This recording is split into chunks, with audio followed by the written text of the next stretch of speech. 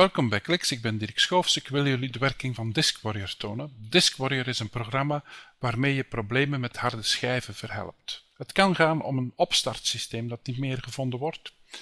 En dan zie je op je Mac een groot vraagteken verschijnen. Of het kan gaan om bepaalde bestanden die niet meer gevonden worden. Of het kan gaan om bestanden die plots read-only blijken te zijn en dat je dus die bestanden niet meer kunt wijzigen allemaal signalen dat er iets mis is met de directory van je harde schijf. Hier zie je op mijn bureaublad twee harde schijven. Dit is de harde schijf van de computer waar ik nu mee ben opgestart. Dit is mijn iMac.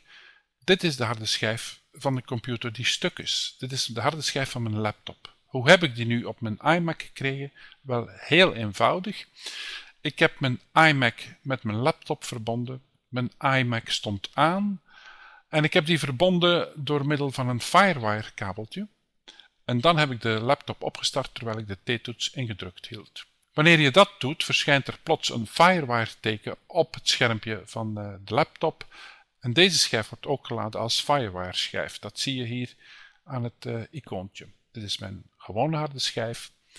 De schijf van een iMac die gezond is. Dit is de harde schijf van mijn uh, laptop die ziek is. Op dit moment kan ik dus ook die schijf open doen en kan ik bepaalde bestanden in veiligheid stellen. Met Disk Warrior ga ik dus deze schijf herstellen. Daarom ga ik het programma nu openen. Even mijn wachtwoord ingeven.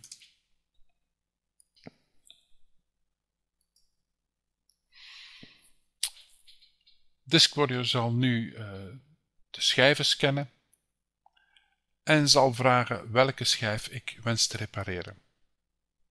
Veel keuzemogelijkheden heeft Disk niet. Het is een, een vrij uh, gemakkelijk programma.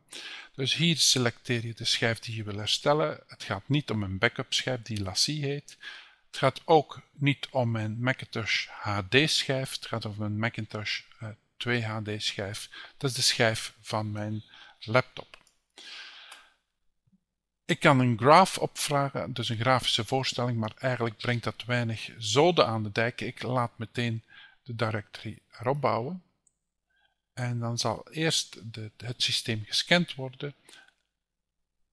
En daarna zal Disk Warrior een nieuwe directory opstellen. Nu is het de directory aan het heropbouwen.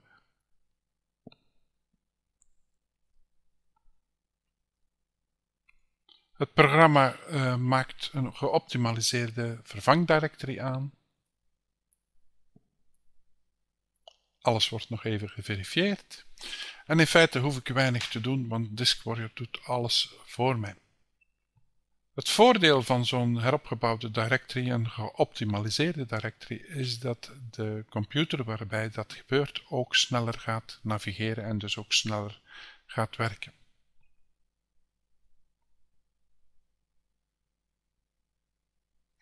Je merkt ook dat uh, tijdens het eropbouwen van de directory de harde schijf van het bureaublad is verdwenen. Dat klopt, dat hoort ook zo. Pas wanneer de directory er opnieuw staat, gaat de harde schijf ook weer tevoorschijn komen. Alles wordt nog even geverifieerd. En als alles goed gaat, dan moet ik zo dadelijk een verslag krijgen. Het rapport wordt opgebouwd. Ja, schijnt dat er wel een en ander mis was met deze schijf. Je hoeft niet alles te begrijpen. Belangrijk is dat je hier op de knop Replace drukt. En dan uh, wordt de directory vervangen. De geoptimaliseerde wordt nu in plaats geschreven. Nog steeds krijg ik de harde schijf van mijn laptop niet te zien. Dat komt zo dadelijk, hoop ik. The directory of the disk Macintosh 2 HD was successfully rebuilt. Wil je een rapport bewaren? Nee, dat doe ik niet. En uh, nu kan ik deze harde schijf hier op de plaats van mijn prullenmandje slepen, zodanig dat media verwijderen tevoorschijn komt.